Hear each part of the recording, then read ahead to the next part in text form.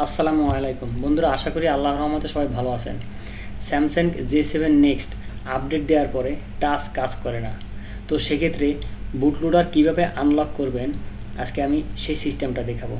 খুব সহজ পদ্ধতিতে বুটলোডারটা আপনি আনলক করতে পারবেন। তো চলুন কাজের দিকে যাই। প্রথমত একটা পোর্টাবল মাউস নেবেন এবং একটা ওটিজি কেবল নেবেন। ওটিজি কেবলটা পোর্টাবল মাউসটা লাগিয়ে আপনার মোবাইলের চার্জিং পয়েন্টে লাগাবেন। এরপরে মাউসের পয়েন্টটা ড্রাগ করলেই উপর দিকে দেখেন লকটা খুলে যাবে। লক খোলার পরে আপনি আবার মাউসের পয়েন্টটা ক্লিক করে উপর দিকে ড্রাগ করেন, আপনি মেনু চলে আসবে। মেনু চলে আসার পরে আপনি সেটিংয়ে যেতে হবে। সেটিংয়ে ক্লিক করেন। সেটিং ক্লিক করার পরে আপনাকে ড্রাগ করে নিচের দিকে চলে যেতে হবে অ্যাবাউট অপশনে তো দেখেন, আমি নিচে থেকে ড্রাগ করে অ্যাবাউট অপশনে চলে যাচ্ছি।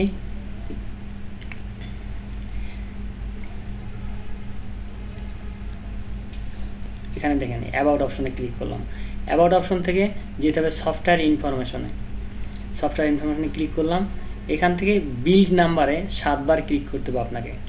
সাতবার ক্লিক করলে আপনার ডেভেলপার যে অপশনটা আছে হিডেন ওই অপশনটা ওপেন হয়ে যাবে। এবার এরপরে ব্যাগে চলে যাব।